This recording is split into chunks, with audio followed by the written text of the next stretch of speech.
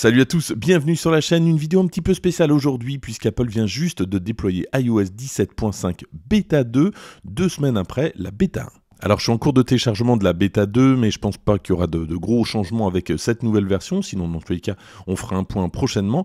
Mais pour l'instant on va se concentrer peut-être sur les bugs qu'il y a depuis euh, la bêta 1 avec iOS 17.5 ou ceux qui n'ont pas été corrigés. Donc pour les plus téméraires, vous pouvez évidemment télécharger la bêta 2, pour les autres attendez peut-être 24 ou 48 heures. Premier bug qui revenait assez régulièrement, en tout cas dans les forums, c'est un problème qui est lié à l'Apple Watch et le déverrouillage justement avec l'Apple Watch. Donc pour ça, il faut aller dans les réglages Face ID et il y a la possibilité donc de déverrouiller avec la montre. N'hésitez pas à déconnecter, à reconnecter euh, le, processus si ça ne fonctionnait pas et en tout cas n'hésitez pas à me dire si après ça, ça fonctionne toujours pas. Euh, il semblerait en tout cas que le problème continue après cette manipulation, donc peut-être une solution avec la bêta 2. Autre problème, alors celui-ci concerne les raccourcis Siri, j'ai pas réussi à le reproduire. Euh, certains utilisateurs, il y en a eu plusieurs en tout cas, qui ne pouvaient plus lancer leur raccourci euh, Siri depuis euh, Siri, avec Siri directement. donc n'hésitez pas à me dire si vous avez rencontré ce problème-là, si c'est corrigé avec la bêta 2. Pour l'instant, dans la bêta 1, le problème subsiste. Autre problème qui concerne Safari et l'ajout de photos, alors je ne l'ai pas constaté dans mes commentaires sur, mes, sur la vidéo d'iOS 17.5 bêta 1, mais plutôt sur des forums euh, américains. Et je l'ai constaté plusieurs fois, euh, certaines personnes se plaignent de ne pas pouvoir ajouter d'images lorsqu'ils sont dans Safari. Et euh, impossible, donc lorsque lorsqu'on appuie sur l'icône pour ajouter une image, ça, revient à, la, à, la, fenêtre précédente. Bon, bah, n'hésitez pas à me dire si c'est corrigé avec cette nouvelle version. Concernant vos commentaires, alors j'ai énormément de commentaires concernant le DM1, on va le voir juste après. Et j'ai un commentaire qui me parlait du widget rappel qui ne s'affichait pas bien, en tout cas c'est ce que j'ai cru comprendre.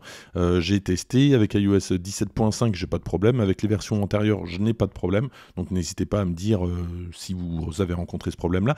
Peut-être que de supprimer le widget, de le, de de le remettre, peut corriger le souci. Et puis je profite de cette vidéo hein, pour euh, répondre à des questions qui reviennent assez régulièrement concernant le DMA.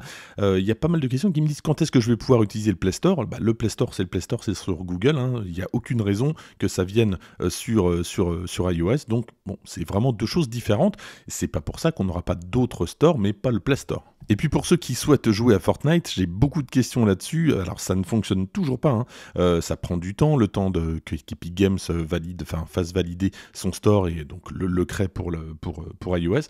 Donc ça va demander un petit peu de temps mais ça va venir, ne vous inquiétez pas. À prendre avec des pincettes maintenant la fluidité qui semblerait améliorer avec iOS 17.5 par rapport à iOS 17.4.1. Alors pourquoi je vous dis à prendre avec des pincettes? Tout simplement parce qu'avec iOS 17.4 il n'y avait pas de problème particulier concernant la fluidité. Euh, et puis bon, bah, parfois un simple redémarrage donne la sensation que ça va un petit peu plus vite.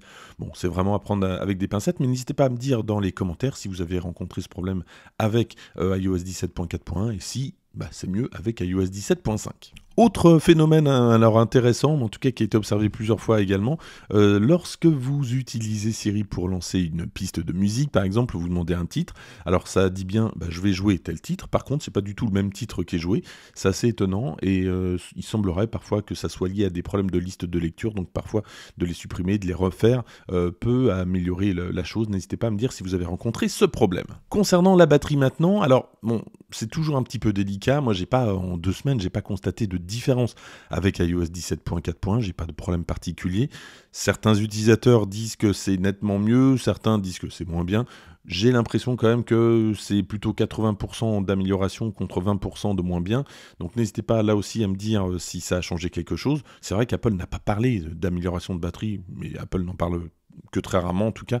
Euh, donc bon, il semblerait qu'il y ait quand même du mieux avec iOS 17.5. Voilà ce que je pouvais vous dire sur mon ressenti d'iOS 17.5. Donc généralement ce sont des, fins de version donc les plus stables. N'hésitez surtout pas à me dire ce que vous en pensez quand même. Merci d'avoir suivi cette vidéo jusqu'au bout. N'hésitez pas à la liker, à la partager, à vous abonner. Et moi je vous dis à très bientôt.